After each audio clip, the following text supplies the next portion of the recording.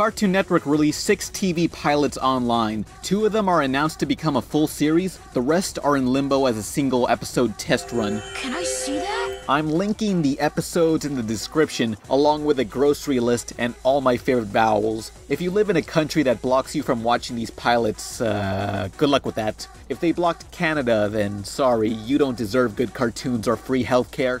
I'm here to make like genitalia and expose these cartoons to all my underage viewers. So here is my personal top 6 Cartoon Network pilots. It's juice and jam time. Excuse me, I don't agree 100% with your personal opinions. Hey man, that's cool, I respect that. Cause this is my United Absolutely the most unappealing of the six shorts, Mars Safari follows characters I refuse to believe were designed by a mentally functional human being exploring Mars. You have mental problems, kid. yeah, I do. An hour after my viewing, I forgot half of what happened in the episode. Worth some laughs, but I would never watch this again. Danger loves company.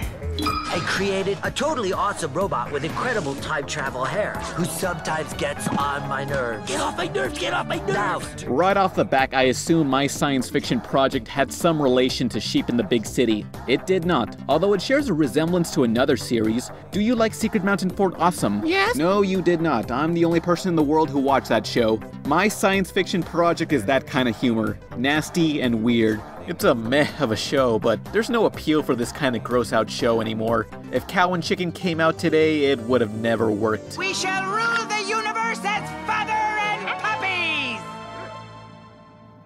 Oh, hello! Are you a potato? What now? At number 4 is Paranormal Roommates. Two slacker mythical creatures are caretaken by a government agent. It's nothing more than regular show with a bit of ugly Americans thrown in, if Mordecai and Rigby had severe dependency issues.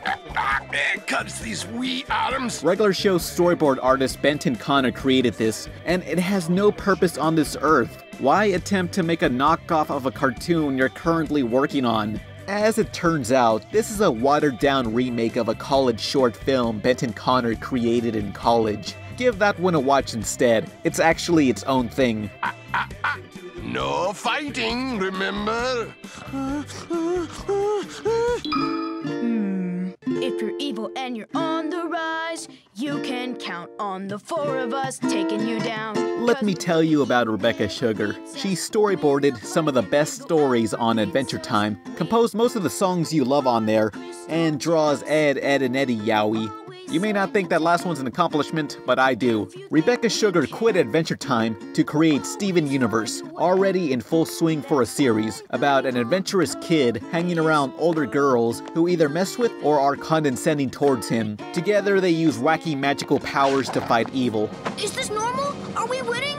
No, this is bad, Steven. Help. Uh, I can't. I'm a butt face. The verdict? It's Adventure Time with no dog and more princess. I freaking love the designs, the colors, the varied body types, the fact that it's the only cartoon on the list that isn't a sausage fest. But what irks me is a major factor of Adventure Time quit Adventure Time to make a show the near exact same as Adventure Time. You may defend Paranormal and Steven for being rehashes because the same crew are working on it, Yet Dexter's Lab, Powerpuff, Samurai Jack, and Foster's had primarily the same crew, and each one of those were so distinct from one another. Since the college short of Paranormal Roommates is so different from the current pilot, I think what happened was these two shows were going to be something else until Cartoon Network forced them to emulate what's popular.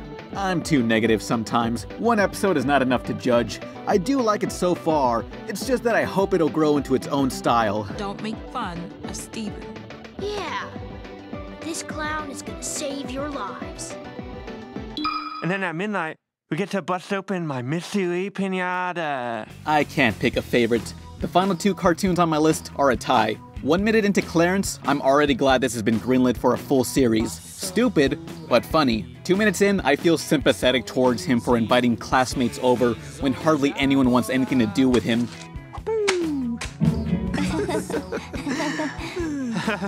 Oh, that used to be me. It's weird, but it has a relatable charm of what you used to do when you invite friends over. Maybe I'm looking too much into this, but I'm expecting this to be one of those funny cartoons with some sentimental moments.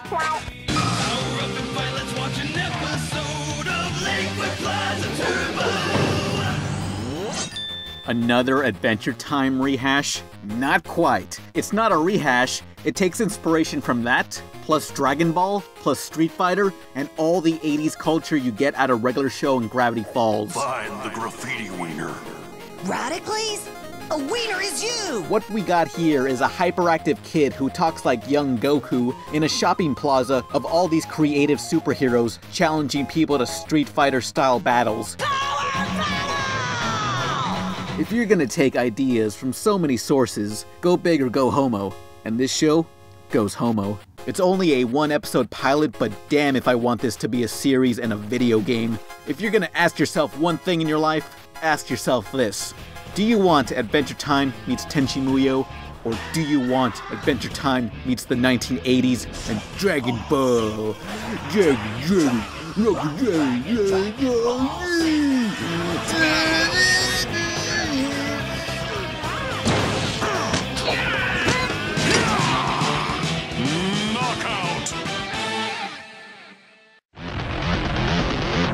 Everyone, and welcome to the Big Pick Show. I am Weasel, and today we're going to be showcasing all of this summer's premier premier cartoons in hopes that when you vote for our next cartoon cartoon, you will be properly informed. Joining me a little later in the broadcast will be the winners of last year's Big Pick, the stars of our newest cartoon cartoon, Grim and Evil. But now, without further ado, may I present this selection, Yeehaw and Doodah, on the Big Pick Show.